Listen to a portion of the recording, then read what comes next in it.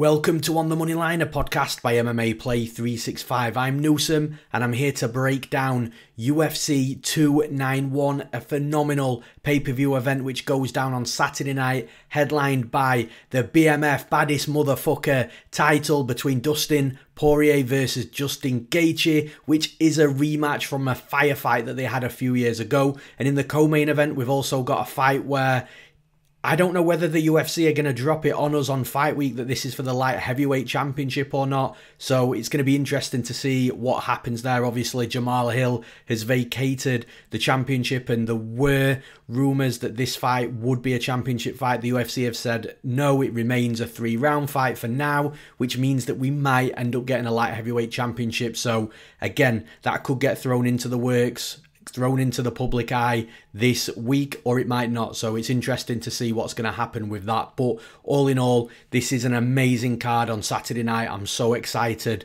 to watch it. I'm so excited to break it down. My analysis is done. My bets are in place. So yeah super super excited for this weekend. Just before we get into those breakdowns though as always there's going to be a Bayes ai recap from last weekend's event at ufc london. So if you are interested in AI and in the UFC prediction software, the AI that we have at MMA Play 365, then make sure you check out those Bayes AI recaps that we do, which is on the YouTube channel in a Bayes AI specific playlist, youtube.com forward slash MMA Play 365.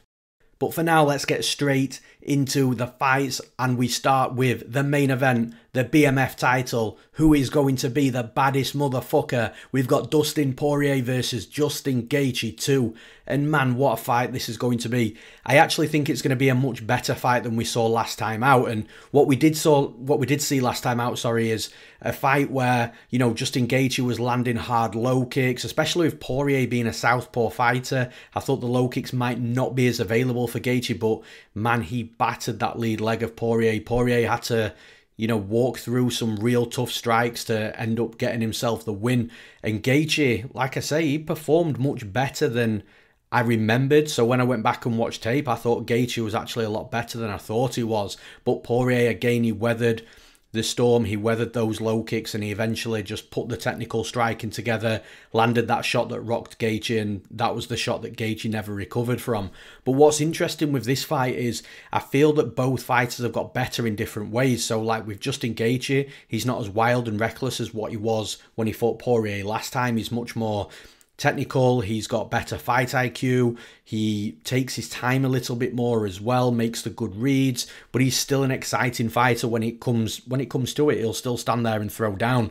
Dustin Poirier on the other hand, I still think is as skillful as what he was back then, but what I like about Poirier is he's spent more time inside the cage. He's more of a veteran now. I think he's more calculated.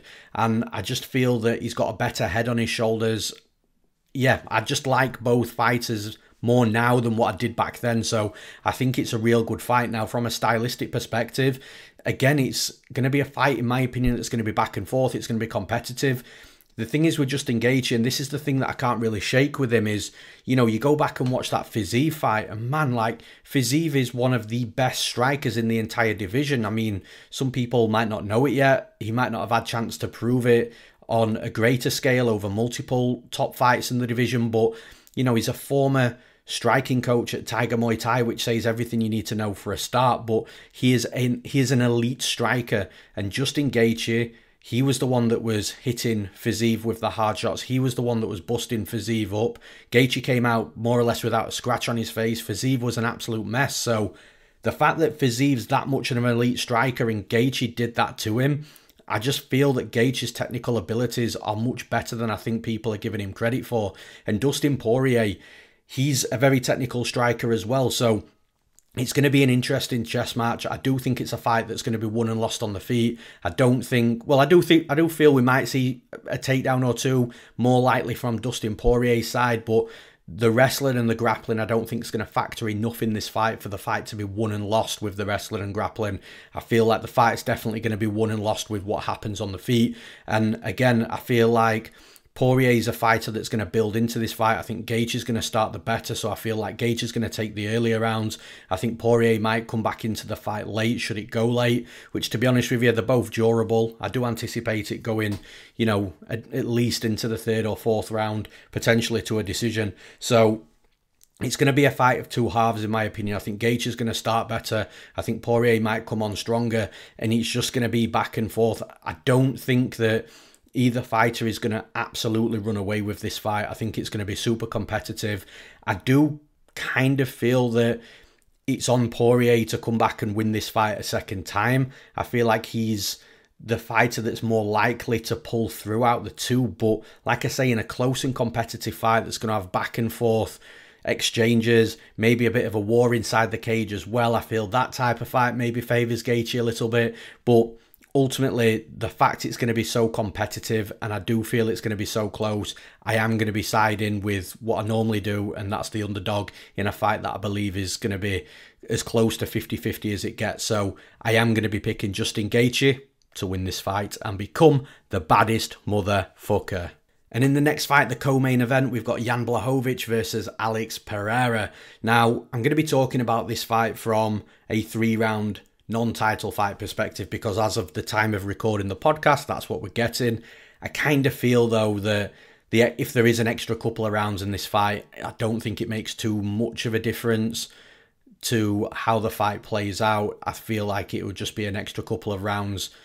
And that's if the fight even got that far, which again is, you know, very questionable at this point. But look, from a stylistic perspective, I think it's very clear what's going to happen in this fight from Jan side. I feel he's got to wrestle. He's got to get a hold of Pereira, take him down, spend time on top. We saw what he did against Israel Adesanya when Adesanya stepped up in weight to fight Blachowicz.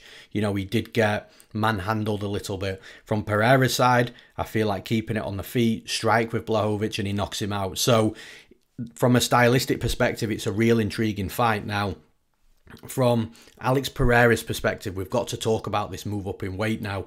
This is a fighter that walks around at about 235 pounds.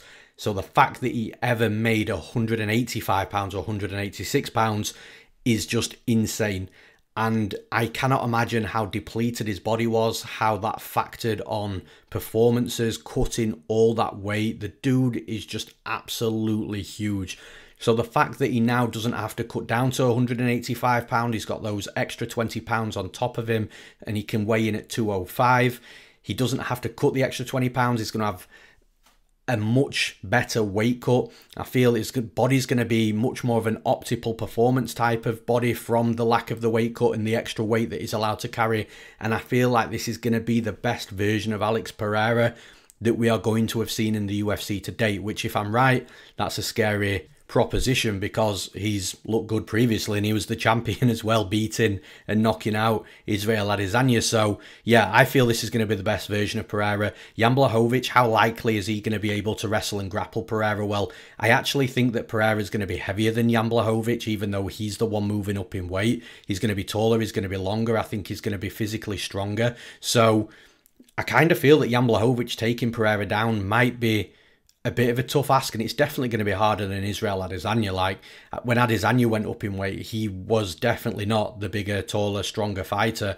So Jan Blachowicz taking Pereira down, it's going to be hard work. It's going to expend a lot of cardio, a lot of the gas tank, and if Blachowicz does get him down, does he finish Pereira on the mat, or does he waste a lot of energy getting him down and maybe spends round around on top, but then when they get back up or start the next round, is he going to be tired? I kind of feel like the biggest gap in skill in this fight is absolutely with the striking. Yes, I feel the wrestling and grappling of Blachowicz is his advantage over Pereira, but the striking advantage, there's just a much bigger gap in skill. Alex Pereira, I think, is going to be night and day a better striker, more accurate, faster, powerful more dynamic with the strikes, more variance with the strikes as well, using the kicks, the knees, the elbows. From a striking range perspective, I think Pereira will be better on the outside. I think he'll be better in boxing range. I think he'll be better in the clinch as well. So there's just a bigger gap in skill for Pereira.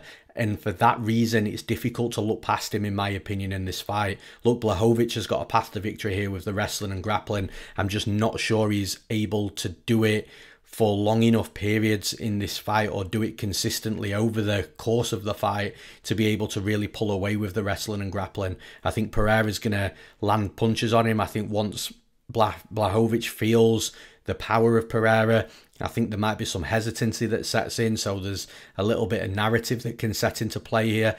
I ultimately just think that Pereira, it's his fight to win, in my opinion. So for those reasons, I'm picking Alex Pereira to win this fight. And in the next fight, we've got Tony El Cucuy Ferguson versus Bobby Green. Now, this is a fight. Look, I'd love to pick Tony Ferguson to win. He's been one of my favourite fighters for many, many years, and I imagine most MMA fans would say exactly the same thing as well. But the reality is, the decline's huge. He hasn't won a fight since 2019, so we're talking four years. That's over the course of five fights. The last three opponents he beat was Donald Cerrone, Anthony Pettis, and Kevin Lee, all fighters that are no longer with the UFC. Obviously, Kevin Lee did make that reappearance a couple of weeks ago, but I think he's retiring now, maybe. So, look, those three fighters are all fighters that have, you know, seemingly have retired. And again, that was a long, long time ago. And it's not as if Ferguson's been putting in the best performances. You can see the decline, it's so obvious. The durability, it's just not there too much anymore. The wrestling is just not there too much anymore. The grappling seems to you know not be there anymore and it's really it really sucks to talk about Tony Ferguson like this but look in in this sport father time hits every fighter at some point and look in the prime Tony Ferguson would have absolutely demolished Bobby Green but it's just we we're not going to see that version of Tony Ferguson and look he might be competitive in moments in this fight but when all said and done I think Bobby Green is definitely the more skilled fighter at this point in regards to being able to deliver inside the cage. I think he's going to be faster, a little bit more dynamic. I think the volume's going to be there in greater amounts. I think the wrestling could be there for Bobby Green. I just feel that Bobby Green at this point in his career against Ferguson at this point in Ferguson's career, Bobby Green is just going to be the better fighter wherever the fight goes durability, cardio, I think, is on the side of Bobby Green as well. So, yeah, look, I feel Tony Ferguson is going to have some moments in this fight, but I don't think it's going to be enough at this point to beat Bobby Green. And I don't know whether it's going to be the last time we see Tony Ferguson inside the cage because, like I say, a five fight skid over the last four years, and the last three fighters you've beaten before that have all retired from MMA. It's yeah, it's a tough one for Tony Ferguson. I think it's a good fight for Bobby Green. Bobby Green's fighting Tony Ferguson at the best possible time in Ferguson's career. So, for those reasons, I'm picking Bobby Green to win this fight. And in the next fight, this is a fun stylistic clash. We've got Michael Chiesa versus Kevin Holland. Now, Michael Chiesa, from his stylistic perspective, his advantages is going to be within the wrestling and grappling. More specifically, the grappling, though. I feel like if he does get Kevin Holland down, we're going to see a big difference in the grappling skill set. Even though Kevin Holland's a black belt and he's capable on the mat, Chiesa's just different. His positioning's so good.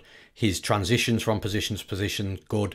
He's able to recognize where he's got a solid position that his opponent's going to struggle to escape or improve their position from and just sit there. He'll land strikes, he'll look for submissions, he'll always be looking to take that back as well. He's a back hunter, so if you make a mistake against Chiesa on the mat, he will take you back and then it's just going to be an absolute nightmare from there. But on the flip side, Kevin Holland, I feel like he's going to have the striking advantage in this fight. I don't feel like he's going to have that much of a technical striking advantage because Chiesa, in my opinion, has really improved that striking, and we saw it from the Luque fight.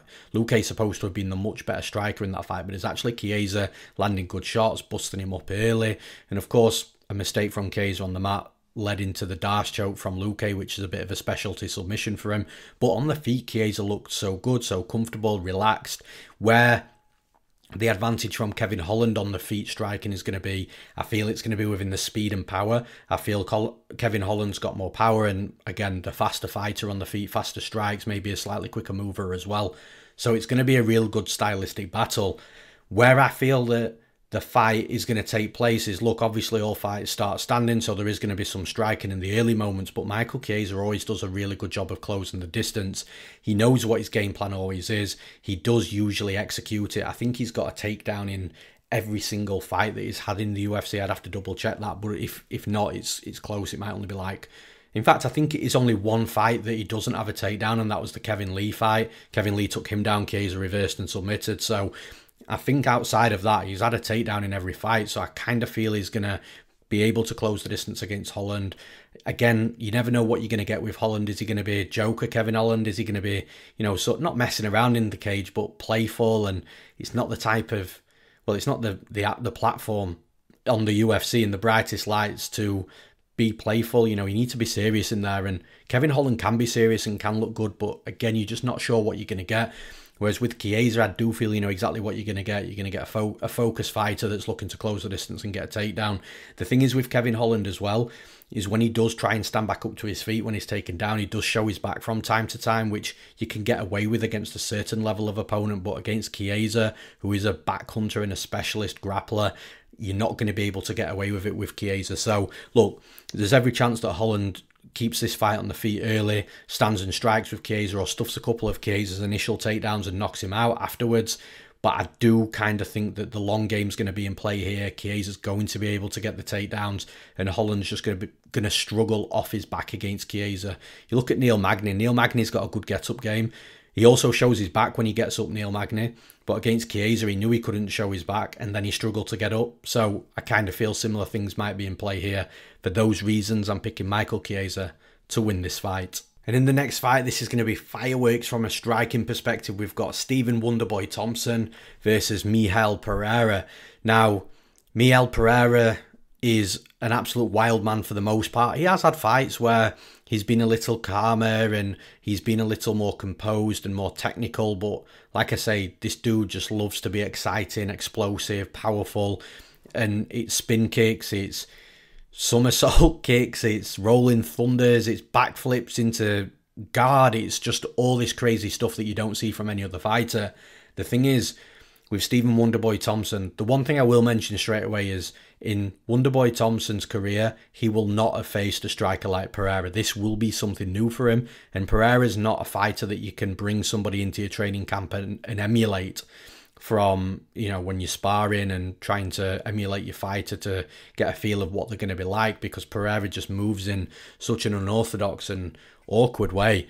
But when all is said and done in this fight, I think the better technical striking is with Stephen Thompson. I think Wonderboy is going to be sort of on the bike a little bit. I think he'll be moving backwards quite a lot, especially in the early moments in this fight. But Wonderboy can fight super well on the back foot. Like he can fight just as well moving backwards as he can moving forwards. His counter striking sharp, even with the hands. Like obviously we talk about the kicks with Wonderboy. He's got a plethora of different kicks, but even the hands are sharp. But his movement in and out of range is just unbelievable. Like he's so good at what he does, striking on the feet.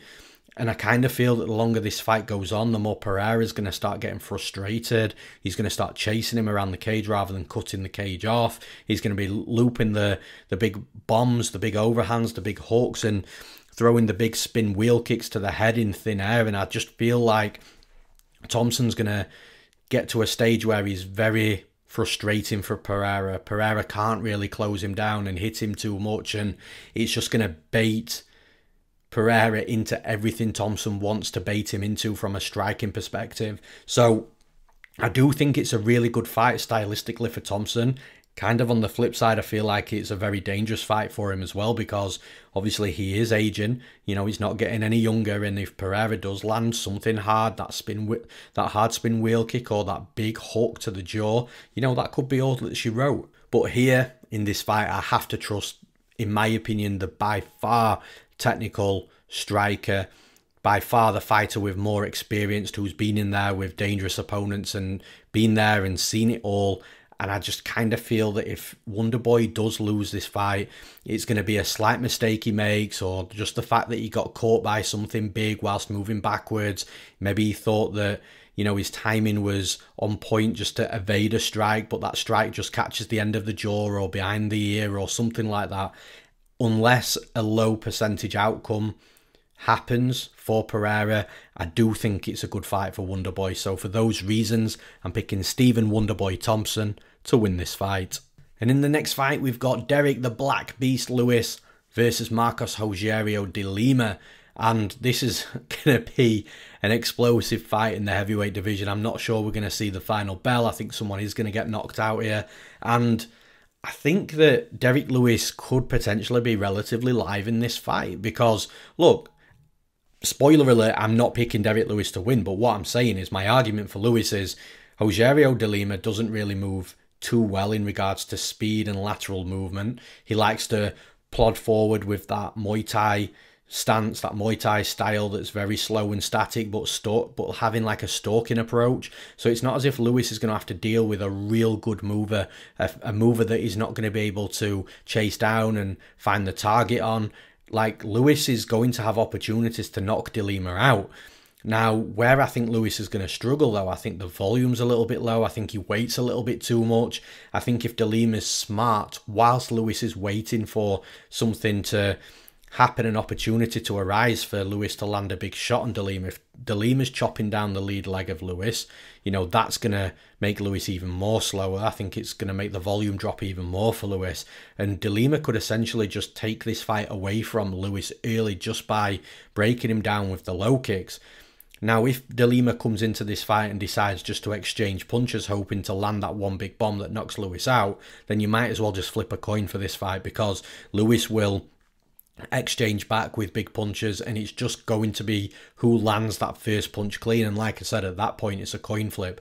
It almost depends on how de Lima fights. If de Lima comes into this fight smart uses a jab doesn't get into the exchanges early in this fight and just really chops Lewis down Lewis down from a leg kick perspective then I do think that Lima can make this fight look relatively easy. It's just a big if like de Lima does like his power he trusts his power and he loves going into the pocket to exchange punches. And that's where Derrick Lewis is absolutely dangerous. So, yeah, it's a big if on what de Lima's going to do in this in the cage. Is he going to be smart or is he going to be reckless? I am, and I always have to side on where I think a fighter has got some serious strength. So I do think de Lima can break Lewis down without Lewis even getting close to exchanging and landing something hard on de Lima. And I do think de Lima has got some power as well. So even if he did get into the exchange, there's still that chance, that coin flip chance of him landing that punch.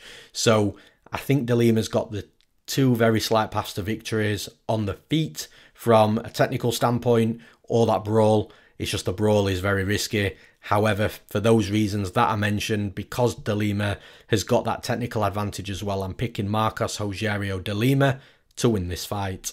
And in the next fight, we've got Trevin Giles versus Gabriel Bonfim. I think this is a bit of a mismatch, if I'm being honest. And uh, look, I always hate to say this in the UFC, and you know that's no disrespect to the fighter that I'm not picking to win the fight, which you know I'm sure most people listening is going to understand that that's Trevin Giles at this point. So look, Trevin Giles is a UFC caliber fighter, so technically as a UFC caliber fighter, you should be able to be going in there with any UFC fighter, and that's just the way it is. But even with that being said, I think Bonfim is again a mismatch for Giles. I think Bonfim's going to be the better striker. I think he's the better wrestler. He's the better grappler. He's got more finishing upside. If the fight goes to a decision, it's more likely to be Bonfim as well.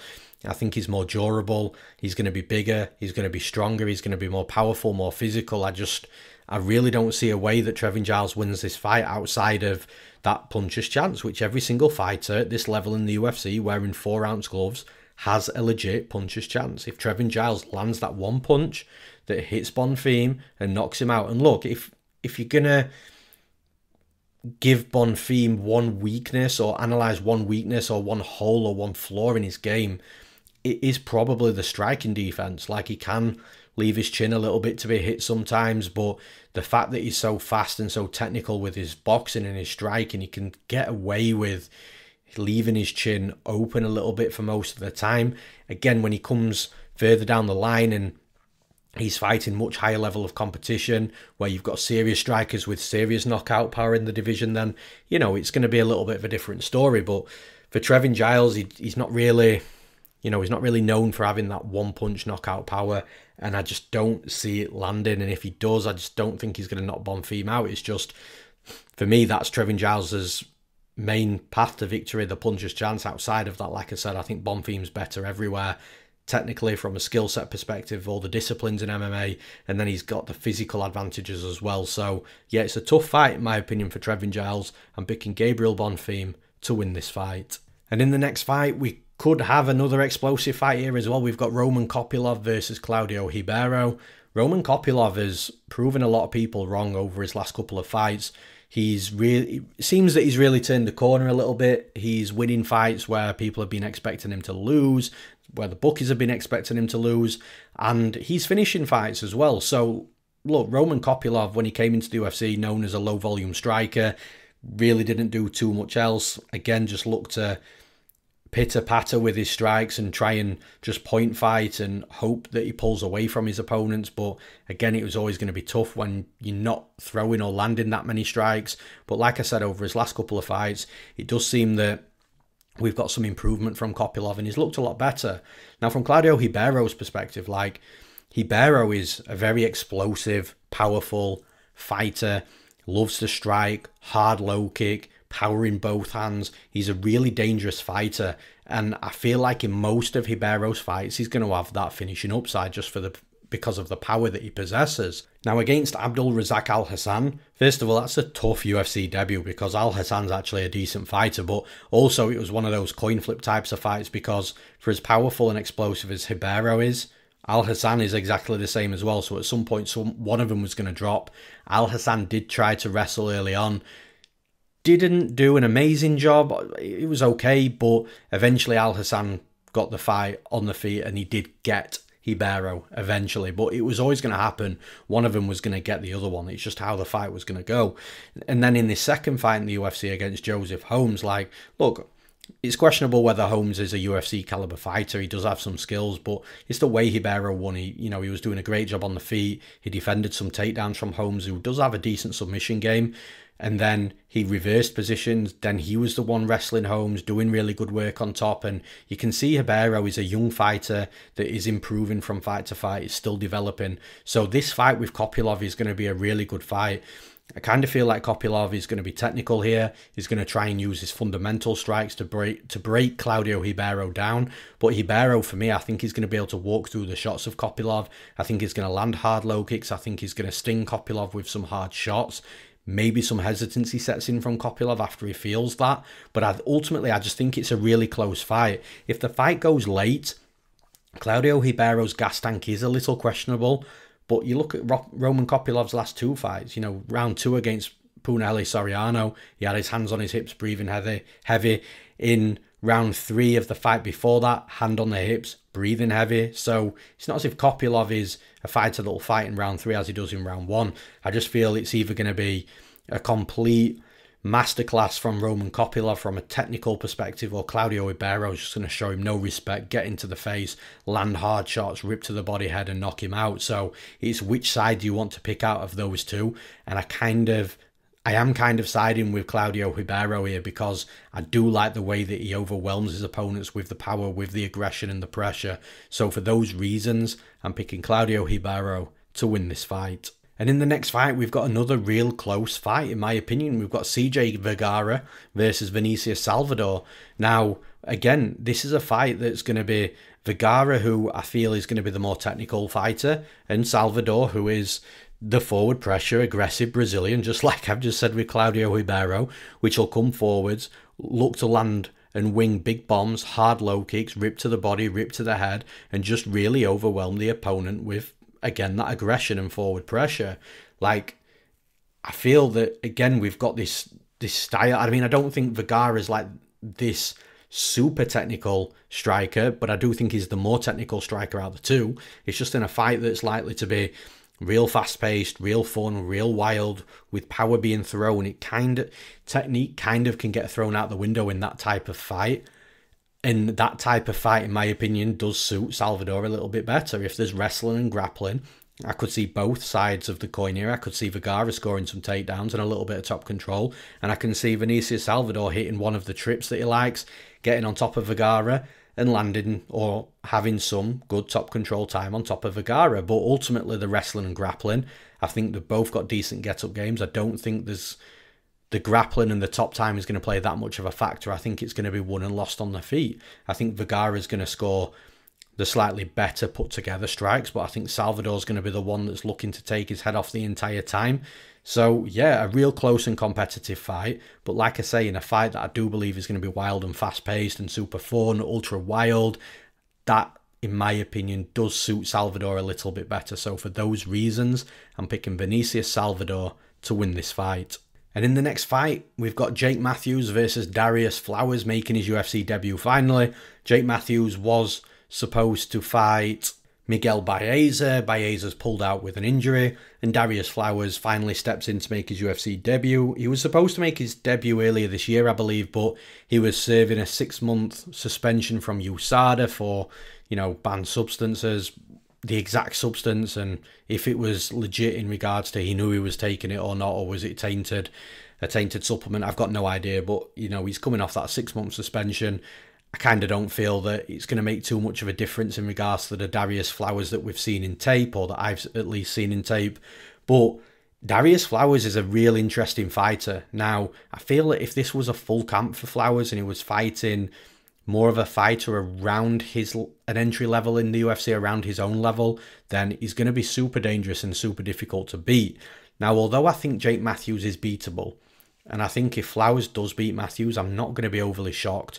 I just feel on short notice, fighting a fighter like Matthews, who's been in there for many, many years at the highest level, fighting real solid competition, beating some of them, losing some of them, but being competitive throughout. I do think it might be a little bit too much too soon for Flowers. Look, Matthews is good everywhere. He's a good striker, good wrestler, good grappler, and Flowers is very much the same. He's got heavy hands, his boxing's good, hard uppercuts. He's also got explosive takedowns. When he sits on top of his opponent, he is super, super heavy. But I don't think that if he does take Matthews down, it's going to be easier. I think he'll expend energy doing it. And I don't think Matthews is going to be stuck under him. I think Matthews could get back up to the feet. And then if the fight if the fighter is scoring takedowns and getting more top control, I feel like that's more likely to be Matthews. I think Matthews is probably got the slightly better fight IQ with a slightly more technical ability in regards to the striking as well. So I think it's a fight that Matthews has in the bag here. Should he fight smart and not rush anything and, you know, make his reads and mind his P's and Q's of the danger that's coming back on Flowers. But make no mistake about it, Darrius Flowers, in my opinion, is going to win fights in the UFC. I do think he's going to be a bit of a problem when he starts picking up some momentum and some consistency and gets some wins under his belt. But for right now, in this specific fight against this specific opponent, on short notice, I'm going to be picking Jake Matthews to win this fight. And in the next fight, we've got Miranda Maverick versus Priscila Cachoeira. And Cachoeira is supposed to fight Joanne Wood. It's Miranda Maverick stepping in. And unfortunately for Cachoeira, I think she's got a fight here with a harder opponent than her original opponent. The one thing that's going to side very slightly with Cachoeira is the fact that this is short notice for Miranda Maverick. But again, I don't think Miranda Maverick is the type of fighter that's ever ever out of the gym or out of shape. I think she's probably always going to be ready and prepared to go. She does strike me as that type of fighter. And like I said, I do think that she's a better fighter than or a harder fight for Cachoeira than Joanne Wood. So Look, Cachoeira is striking that, that zombie like approach where she'll come forwards, hands down, e punches to land punches. You know, that's where she's good. I just don't think that she's going to be able to have that type of fight against Maverick. And if she tries, I think Maverick's just going to close the distance. Well, Cachoeira will be closing the distance for Maverick.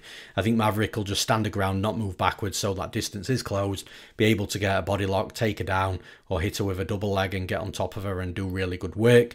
And that's where Maverick has got a huge gap in skill in this fight. I think the wrestling and grappling of Maverick is going to be too much for Cachoeira, and Cachoeira is going to have to catch Miranda Maverick early, I think, with something hard to wobble her and change the course of the fight to be able to, you know, win this fight, whether that be getting the knockout on that wobble and knockdown or hurting Maverick or just taking the fight to her. Therefore, after having hesitancy setting on Maverick, but I just feel that all that I've just explained is such a low percentage outcome. I don't think it's probable.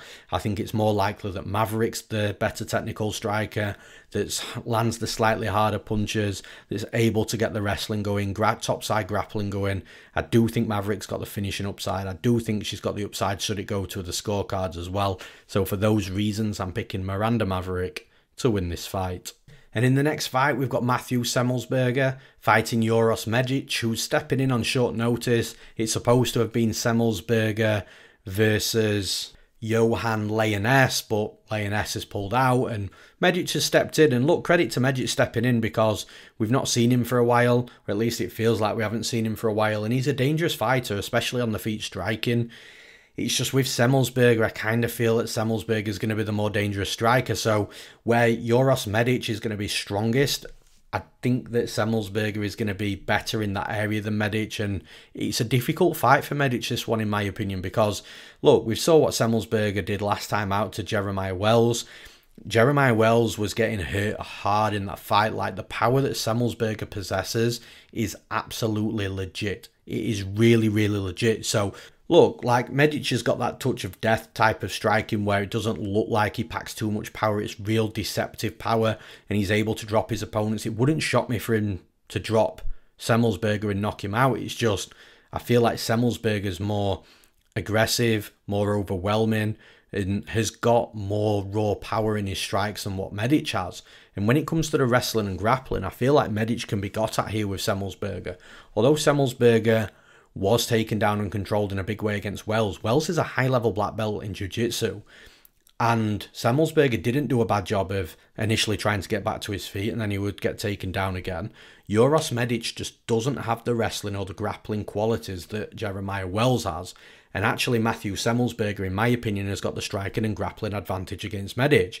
And then on the feet, I feel that Medic might be the better technical striker, but Semelsberger's more aggressive with more power. So it's a hard fight for Medic, in my opinion. Like, I'm not ruling him out, and I don't think he's a bad underdog play. But on short notice in a fight where there's obvious disadvantages, especially within the grappling and the wrestling, I do feel like if Semelsberger mixes things up and fights smart here, he's going to be able to do real good work. So, for those reasons, I'm picking Matthew Semelsberger to win this fight. And that's all for this episode of the podcast. I'm super stoked about this card. I really am. I said it at the start in the introduction. I really, really cannot wait for Saturday night. It's probably one of my favourite cards that I've been looking forward to for the entire year. Serious, serious fights. The baddest motherfucker title with Dustin Poirier and Justin Gaethje rematch. I can't wait. I hope all you guys enjoy the event. I hope everybody tuning into this podcast has enjoyed the show and enjoyed the breakdowns. And if I've helped, then with your analysis, or if I've helped you win a bet or cash a bet, whatever, then please hit the like, please hit the subscribe button. It really does help the channel.